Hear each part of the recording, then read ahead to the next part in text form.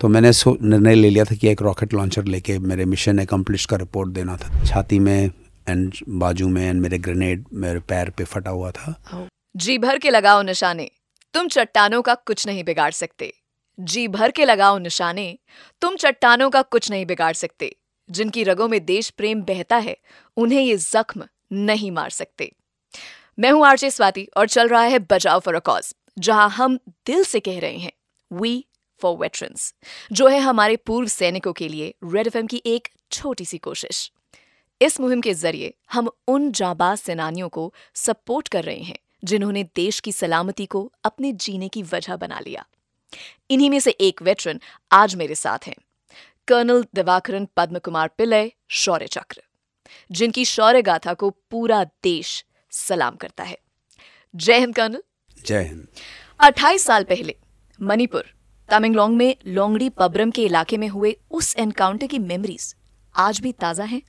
पहले तो आ, मेरे तरफ़ से रेड एफएम सुनने वालों को सब प्यार भरा सलूट। जय हिंद जय भारत। आपका जो पहला सवाल है उसका जवाब मैं मैं कैसे भूल सकता हूँ?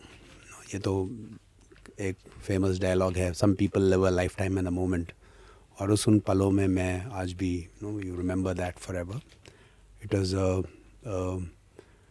कई बार कभी कोई गाना सुनते वक्त या कोई न्यूज़पेपर पढ़ते वक्त हम उस मेरे को कई बार वो एनकाउंटर याद आता है, कई छोटे बच्चे देखने पर या तो ये एक मेमोरी है जो हमारे, जो गाव है, जो फ़िज़िकल गाव है बॉडी में, वैसे ही मेरे दिमाग में छपा हुआ है and it can never be forgotten और मेरा मेडल एक्चुअल मेडल तो शौर्य चक्रा नहीं है, मगर उस इनकाउंटर के मेमोरीज़ जो है और जो उस एनकाउंटर के बाद में उस गाँव वालों ने जो प्यार दिया है, वो है मेरा असली मेडल जो मैं आज भी बड़े गर्व से पहन के चल सकता हूँ। तो सर, उस एनकाउंटर में आप बुरी तरह से घायल थे, आपको गोली लगी थी, आप पे ग्रेनेड फेंका गया था। अच्छा आपके साथ साथ दो छोटे बच्चे भी थे जो घायल हुए थे, लेकिन आपकी हालत ज़्यादा बुरी थी। लेकिन जब आपको इवैक्यूएट किया जा रहा था, तब आपने अपने से पहले उन बच्चों को बचाने के लिए कहा कि इनको लेके जाओ पहले। उस वक्त में आपके मन में एक बार भी ये ख्याल नहीं आया कि अगर मेडिकल अटेंशन में कहीं डिले हो गया तो कुछ भी हो सकता है।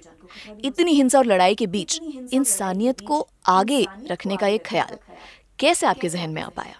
फौज में जैसे हम भर्ती, पहले बात तो हम फौज में भर्ती इसलिए होते हैं क्योंकि हम अपने देश को और अपने देशवासियों से प्यार करते हैं।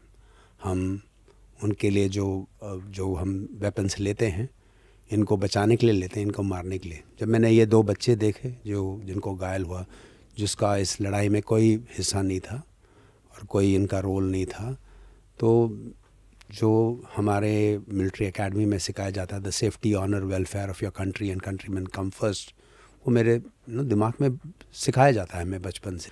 उस समय मेरा मिशन था कि is you know there was a competition government of India का रिट होना था वहाँ पे वहाँ पे इंसर्जेंट्स ने अपना लगा रखा था। और वो कंपटीशन था इंडियन गवर्नमेंट का जो डेमोक्र हमारे संप्रदाय में जो जो लिबर्टीज़ एंड फ्रीडम्स एश्योर किए हैं, उसको अपहोल्ड करना और विस वी द इंसर्जेंट्स जो डिमांड कर रहे थे फ्री नागालैंड फ्री नागालैंड तो जो कॉन्टेस्ट था, हम दोनों के बीच में था जो इंसर्जेंट्स और हम, इनमें बच्चों का कोई रोल नहीं था। ना तो वो जानते थे किस रीजन के हैं या किस रिलीजन के हैं तो उनको there was no way they would been evacuated या जिस तरह से उनको घाव गोली लगा था देर वॉज़ आर्मी हेलीकॉप्टर उनके लिए वापस नहीं आता। तो only way I could have save them is to insist that no they should be evacuated first so I it was something and my commanding officer colonel no brigadier Notiyal he said to the pilot कि अगर इसका आखिरी ख्वाहिश है इसको पूरा करो। सो आप घायल थे? आपने अपनी जगह दो बच्चों की ज़िंदगी बचाने का डिसीज़न लिया। और इन सबके बीच में जो इंसर्जेंट्स थे, जिन्होंने आप पर फायरिंग की थी, वो सरेंडर कर चुके थे। और ज़ाहिर सी बात है, काफ़ी डरे हुए भी थे। गाँव वाले भी डरे हुए थे। तो एग्जैक्टली exactly आप हमें वो वो सिचुएशन क्या थी, उसको विज़िट करा सकते हैं? क्या हुआ था उस ऑपरेशन के दौरान? ये 1994 की बात है, जब यू नो आपको मालूम है कश्मीर में जो इंसर्जेंसी शुरू हो गया था तो उधर से हमारे army divisions eight mountain division वगैरह जो थे, वो मूव कर गया था वहाँ पे।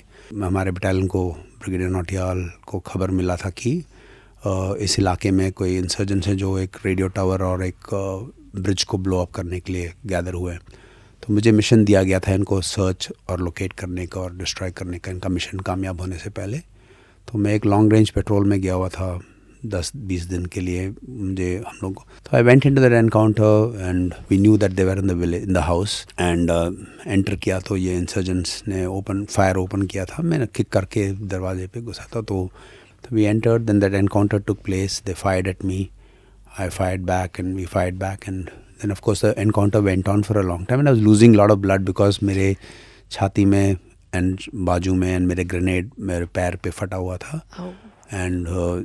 राइफ़ल के बट से भी मुझे कंधे पे मारा गया था तो मगर तो मैंने सो निर्णय ले लिया था कि एक रॉकेट लॉन्चर लेके मेरे मिशन एकम्प्लिश का रिपोर्ट देना था। तो हमने गाँव बूढ़ा को बुला के बोला कि हम इसको ब्लो अप करने वाले हैं। तब उन्होंने सरेंडर किया। एंड जब पहले निकला तो तो दो बच्चे निकले थे कि इस बच्चों को इवैक्यूएट कराया गया। और वो मिलिटेंट्स जो सरेंडर किए उसके बाद हमने उनको ह्यूमेनली ट्रीट किया। जो कन्वेंशंस है वॉर के देखिए किस्मत ने ऐसा मोड़ लिया कि एनकाउंटर के 16 साल बाद ज़िंदगी फिर आपको लोंगड़ी पब्रम लेकर आई जहाँ पर आप घायल हुए थे। गाँव वालों ने आपको अपनी ट्राइब में एक ऑनररी पोजीशन भी दी। मुझे ये जानना है सर 16 साल बाद आपने जिन दो बच्चों की जान बचाई थी उनसे मिलकर कैसा लगा आपको? हाउ इज़ दैट एक्सपीरियंस कई बार मैं सोचा था मगर मुझे दोबारा मौका नहीं मिला। मैं हॉस्पिटल में था कई एक साल तक उसके बाद मैं मिलिट्री स्कूल में गया।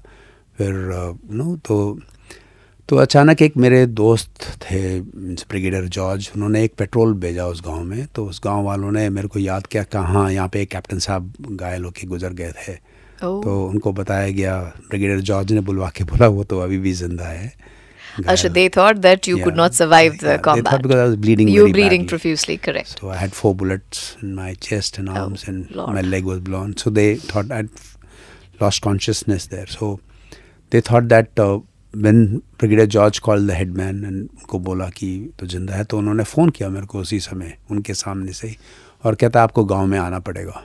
एंड पूरा गाँव शामिल हुआ था उधर and it is a big emotional तो suddenly I met those people you know saw the child जो उस समय सात साल की थी, वो she become married she had children of her own Then I met the young boy. There were two children, so I met them. So oh. it was a very emotional. And the grandmother, जिनके घर में वो encounter हुआ था, hmm. she was also there, and she started crying. You know, hugging me and crying. And then, for me, uh, it felt like I'm meeting my own family member. They gave me land also there. So oh my god, that's huge. yeah, but they told me that this uh, from this till the other hill is yours. so I said, I don't want any land. I want some place in your heart. जिनका देश पूरा है, जो दिल में रहते हैं, and I think more than that, the, आप फौज में एक बार इंडक्ट हुए होंगे। ये सेकंड टाइम आप एक ट्राइब में इंडक्ट हुए not many people have such you know stories to share आपने अपनी चोटों से रिकवर करने के बाद अपना ही स्कूल मिलिट्री स्कूल बैंगलोर जो है, उसमें नौकरी शुरू करी। वहाँ पे नई युवा पीढ़ी को ट्रेन करने का मौका मिला आपको। तो डिफेंस सर्विसेज़ की ट्रेनिंग में ऐसा क्या होता है? कि एक आम आदमी यूथ साहस और बहादुरी के जज्बे से भर उठता है क्या सोच है जो एक सैनिक को शौर्य और बलिदान की प्रेरणा देती है I think, yeah, of course, being part of that military academy and ethos really helps because you come up in stories of valor, courage, you know, whether it is uh, Salaria or Batra or others, you know, you hear their stories, you feel inspired. Because what the value that we place on our own life is lesser than what we value our country, you know, compared to our country. And I think that is something that comes to us naturally. Like I told you before, it is it is it is wrong to even think about your own personal safety or welfare or your profit or whatever at that time when you are in the battlefield. जाने से पहले मैं आपसे जानना चाहूँगी कि हमारे listeners जो हैं हमारे देश के नागरिक जो हैं जो रेड एफ़ से जुड़े हुए हैं इस वक्त उनको आप क्या मैसेज देना चाहेंगे ये जो आज़ादी मिला है हमें अंग्रेज़ों से हमारे पिताजी एंड हमारे जो पेरेंट्स के जनरेशन है वो तो they were born in in when the British were ruling us जो जो लड़के उन्होंने हमें छोड़ा है हमारा फ़र्ज़ बनता है कि हम हमारे आने वाले जनरेशन के लिए leave this country in a better state जिस तरीके जिस the way they received it they left it better for हमारे ऊपर एक हमारा एक फ़र्ज़ है। It is not just not हमारे राइट्स या uh, हम हक मांगे। एक इस देश को आपके ऊपर भी एक हक बनता है जो हमें अदा करना चाहिए। We should know and it is not by wearing a uniform alone कि आप वर्दी पहन के ही आप देश को सेव कर सकते हो। आप एक किसी भी तरीके से, मीन्स आप जहाँ पे भी हो, ईमानदारी और सच्चाई और दिल से प्रेम, देश प्रेम के साथ काम करोगे, वो you are doing great service to the country you are being a patriot तो सर आज हम रेड एफएम की इस छोटी सी कोशिश जैसे हमने कहा बजाओ फॉर कॉज में जिसमें हम ये कोशिश कर रहे हैं कि जैसे आप लोगों ने यू you नो know, हमारे देश को सर्व किया हम देश की जनता मिलकर आपको सर्व करें। I would like to hear you say a few words about we for veterans जो रेड एफएम कर रहा है इस मुहिम को चला रहा है। इसके बारे में आपका क्या कहना है?